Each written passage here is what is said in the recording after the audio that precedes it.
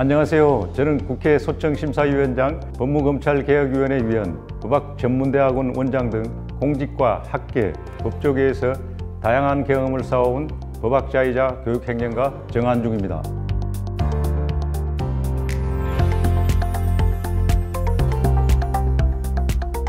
저는 전남 광양에서 가난한 농부의 여섯 번째 아들로 태어났습니다.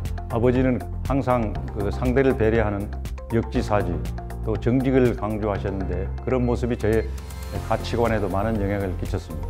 영화 서울의 봄을 보셨는지요?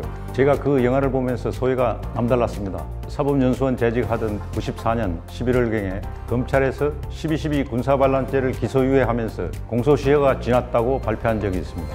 그때 제가 군사반란죄는 대통령 재직 중에는 기소할 수 없는 범죄이므로 전두환 재직 기간 7년을 공소시효 계산해서 빼야 된다 이런 주장을 펼쳤는데요.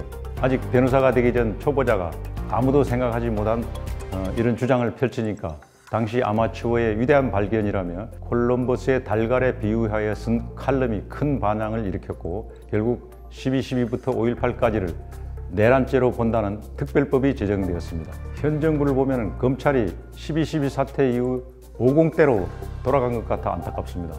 대통령은 자기 가족과 이해관계에 있는 특검법에 대해서도 거부권을 행사합니다. 매우 안타까운 현실이라 생각합니다. 1995년 전두환 노태우를 사법 처리할 수 있었던 바로 이 헌법 해석을 당시 사법연수원생이었던 정한준 교수가 해냈습니다.